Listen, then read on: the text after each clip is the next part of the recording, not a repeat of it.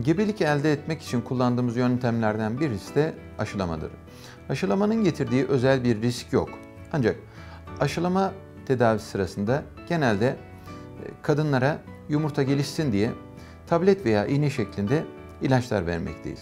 Bunların dozajlaması iyi yapılmazsa birden fazla yumurta gelişip böylece gebelik oluştuğunda da çoğul gebelik oluşabilir. Bu da bir takım riskleri de beraberinde getiriyor.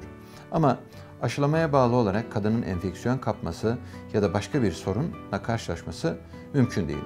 Aşılamada erkekten alınmış olan sperm zaten özel yöntemlerle yıkanıp yoğunlaştırılmış, hareketleri en yüksek olan spermler konsantre edilmiş halde kullanıldığı için gebelik oranlarını artırmaktadır. Ama kullanılan yumurta gelişsin diye kullanılan ilaçlar kadında ovaryen hiperstimülasyon sendromu dediğimiz su toplanmasına sebep olabilir. Bunun dışında aşılamanın herhangi bir riski yoktur.